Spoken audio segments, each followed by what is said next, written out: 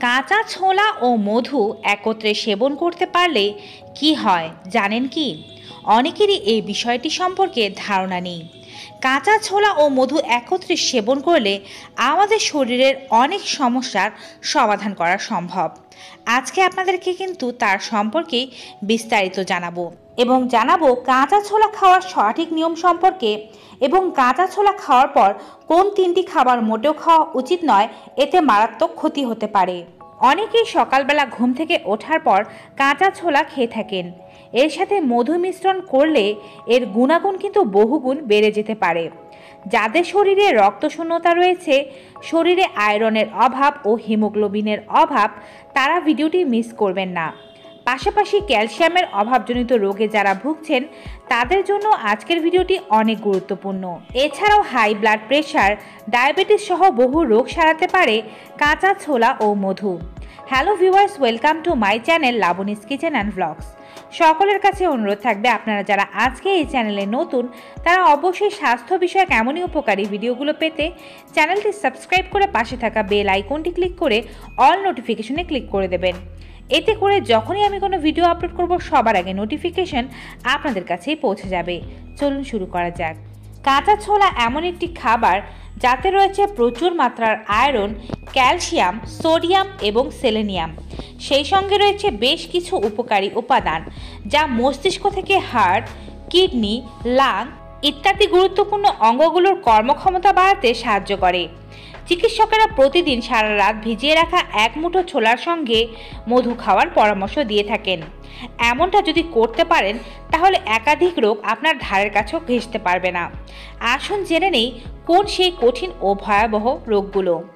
প্রতিদিন সকালবেলা কাঁচা ছোলা ও মধু খাওয়ার ফলে হার্টের কর্মক্ষমতা বাড়ে।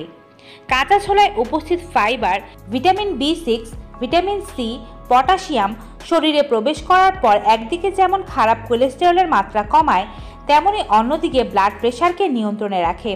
ফলে স্বাভাবিকভাবেই হার্টের কোনো ক্ষতি হওয়ার আশঙ্কা থাকে না, সেই সঙ্গে হার্ট অ্যাটাকের সম্ভাবনাও কমে যায়। হজম ক্ষমতার উন্নতি ঘটে কাঁচা ছোলা ও মধু একসাথে খেতে পারলে। বদহজমের রোগীরা তাই কাঁচা ছোলা ও মধু সেবন শুরু করে দিন। ছোলাকে যদি আপনি নিত্যদিনের সঙ্গী বানাতে পারেন, এর মধ্যে উপস্থিত ফাইবার, অ্যান্টিঅক্সিডেন্ট আপনার হজমে সাহায্য করবে। আর মধু আমাদের হজম ক্ষমতার উন্নতি ঘটায়, সেই সঙ্গে ডায়রিয়া ও কনস্টিপেশনের মতো রোগের প্রকোপ কমাতেও সাহায্য করে। অ্যান্টিঅক্সিডেন্ট আরও একটি গুরুত্বপূর্ণ কাজ করে আমাদের শরীরে। তা হচ্ছে শরীর থেকে টক্সিক পদার্থগুলো বের করে দিতে সাহায্য করে, যার ফলে ক্যান্সার রোগে আক্রান্ত হওয়ার আশঙ্কা একেবারেই থাকে না।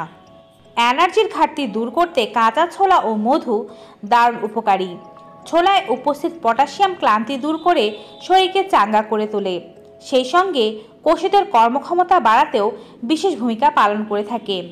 আসলে এই প্রাকৃতিক উপাদানটির অন্দরে প্রচুর পরিমাণে অ্যামাইনো অ্যাসিড থাকে যা কোষেদের শক্তি বাড়িয়ে দেয়। আর মধুর সাথে মিশ্রিত হয়ে এটি আরও শক্তিশালী হয়ে ওঠে। আপনার যদি অ্যানিমিয়ার প্রকোপ থাকে তাহলে শরীরের অ্যানিমিয়ার প্রকোপ ও আয়রনের ঘাটতি দূর করতে কাঁচা ছোলা ও মধু খেতে পারেন। শরীরে আয়রনের ঘাটতি দেখা দিলে অ্যানিমিয়ার মতো ভয়াবহ রোগ চারা দেয়। আর যেমনটি আগেই আলোচনা করা হয়েছে, ছোলায় প্রচুর পরিমাণে আয়রন রয়েছে। তাই এই প্রাকৃতিক উপাদানটি শরীরের অন্দরে উপস্থিত লোহিত রক্তকণিকার উৎপাদন বাড়াতে দারুণ কাজ করে। আর একবার লোহিত রক্তকণিকার মাত্রা বৃদ্ধি পেলে স্বাভাবিকভাবেই এনিমিয়ার প্রকোপ কমে যাবে। কাঁচা ছোলা বেশ গুরুত্বপূর্ণ ভূমিকা পালন করে, এটি অনেক গবেষণায় প্রমাণিত হয়েছে। প্রতিদিন ছোলা খাওয়ার অভ্যাস করলে শরীরে পটাশিয়ামের মাত্রা বাড়তে শুরু করে, আর এই খনিজের পরিমাণ যত বাড়ে, তত সোডিয়ামের মাত্রা নিয়ন্ত্রণে চলে আসে, ফলে ধীরে ধীরে ব্লাড প্রেশার নিয়ন্ত্রণে চলে আসে। এই কারণে যারা অনিয়ন্ত্রিত ব্লাড প্রেশারের সমস্যায় ভোগেন, তারা নিয়মিত করে এক বাটি কাঁচা ছোলা ও মধু মিশ্রিত করে খাওয়া শুরু করে দিন।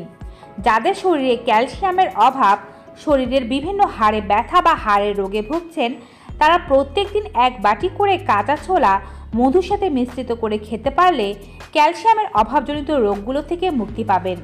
এমনকি আপনি যদি সাপ্লিমেন্টারি গ্রহণ করার পরও আপনার শরীরে ক্যালসিয়ামের চাহিদা পূরণ না হয়, তাহলে এই উপায় অনুসরণ করে দেখুন। ক্যালসিয়ামের অভাবজনিত হাড়ের বিভিন্ন সমস্যাগুলো আপনার কখনোই হবে না। কাঁচা ছোলা ও মধু একত্রে সেবন করলে ত্বকের সৌন্দর্য বৃদ্ধি পায়। ব্রণ, পিম্পল, ডার্মাটাইটিস সহ একাধিক রোগের প্রকোপ সারাতে কাঁচা ছোলা খেতে পারেন। এক্ষেত্রে প্রতিদিন ছোলা খেলে যেমন উপকার পাওয়া যাবে, তেমনই ছোলা গুঁড়ো করে বানানো বেসন দুধের সঙ্গে মিশিয়ে মুখে লাগালে দারুণ উপকার মিলবে। বেসন এবং দুধ বা দই মিলিয়ে বানানো পেস্ট স্ক্যাল্পে লাগালে চুল পড়াও বন্ধ হয়ে যায়। তাই যাদের খুব চুল উঠছে তারা এই ঘরোয়া পদ্ধতিটি ব্যবহার করে দেখতে পারেন। কাঁচা ছোলা ডায়াবেটিস নিয়ন্ত্রণে সাহায্য করে। নিয়মিত এক মুঠো কাঁচা ছোলা খেলে শরীরে অন্দরের শর্করা শোষণ ঠিকমতো হতে পারে। ফলে স্বাভাবিকভাবেই রক্তে সুগার লেভেল বেড়ে গিয়ে ডায়াবেটিস রোগে আক্রান্ত হওয়ার আশঙ্কা কমে। শুধু তাই নয়, ছোলার মধ্যে থাকা একাধিক পুষ্টিকর উপাদান শরীরের ভেতর থেকে এতটাই শক্তিশালী করে দেয় যে ব্লাড সুগার লেভেল কমে গেলেও শরীরে বিরূপ কোনো প্রতিক্রিয়া পড়তে পারে না। তবে এক্ষেত্রে কাঁচা ছোলার সাথে মধু মিশ্রিত করে না খাওয়ার পরামর্শ দেয়া হলো। কেননা ডায়াবেটিস রোগীরা মধু খেতে পারবেন না।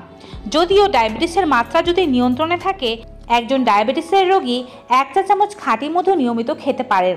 তবে বর্তমান বাজারে খাঁটি মধু বের করাটাই অনেক কঠিন। বাজারে যে সমস্ত মধু পাওয়া যায়, তার মধ্যে অধিকাংশই ভেজাল মিশ্রিত অথবা চিনি দিয়ে তৈরি করা মধু। এই মধু যদি ডায়াবেটিস রোগীরা খান, তাহলে হিতে বিপরীত হতে পারে। তাই ডায়াবেটিস নিয়ন্ত্রণে রাখতে শুধুমাত্র কাঁচা ছোলা সেবন করুন, মধু বাদ দিন। নিশ্চয়ই কাঁচা ছোলা ও মধু সেবনের এমন উপকারিতা সম্পর্কে জেনে আপনাদের ভালো লেগেছে।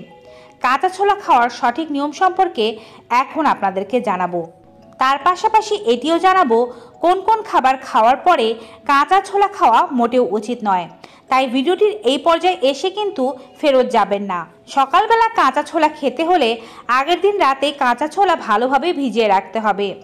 এর জন্য এক থেকে দু মুঠো কাঁচা ছোলা ভালোভাবে ধুয়ে নিন। তারপরে কাঁচা ছোলা পরিষ্কার পানির মধ্যে ভিজিয়ে রেখে দিন। সকালবেলা উঠে এই ছোলাটি আবার একটু ধুয়ে এবারে এক চা চামচ খাঁটি মধুর সাথে মিশ্রিত করে চিবিয়ে খেয়ে ফেলুন। কাঁচা ছোলা খেতে হবে খালি পেটে, তাহলে আপনি সর্বোত্তম উপকারিতা পাবেন। তবে যদি ছোলা মশলাদারভাবে রান্না করে খান, এতে কিন্তু আপনার শরীরে কোনো উপকারিতাই পৌঁছাবে না। পাশাপাশি জেনে নিন, কাঁচা ছোলা খাওয়ার পর কোন কোন খাবার খাওয়া মোটেও উচিত নয়। কোনো টক জাতীয় বা আচার খাবার পর কাঁচা ছোলা খাবেন না। দুধ খাওয়ার পরে কিংবা আগে কাঁচা ছোলা খাওয়া উচিত নয়, কারণ এটি আপনার পেটে গিয়ে বিরূপ কাজ করতে পারে। এছাড়াও কাঁচা ছোলা খাওয়ার পর করলার সবজি কিংবা করলার জুস খাওয়া থেকে বিরত থাকুন। তো ভিউয়ার্স, এই সাবধানতা ছাড়া কাঁচা ছোলা খাওয়ার কোনো বিরূপ প্রতিক্রিয়া নেই। আশা করছি ভিডিওটি আপনাদের কাছে ভালো লেগেছে। নিয়ম করে কাঁচা ছোলা ও মধু খাওয়ার মাধ্যমে শারীরিক উপকারিতাগুলো পূর্ণমাত্রায় অনুভব করুন। আজকের মতো এখানেই বিদায় নিব ভিউয়ার্স ভিডিওটি আপনাদের কাছে ভালো ও উপকারী মনে হয়ে থাকলে বেশি বেশি মাত্রায় সকলের সাথে শেয়ার করে সকলকে এই তথ্যগুলো জানিয়ে দেওয়ার অনুরোধ রইল। বিদায় নিচ্ছি, দেখা হবে নতুন ভিডিওতে নতুন কোনো টপিক নিয়ে। Till then goodbye and take care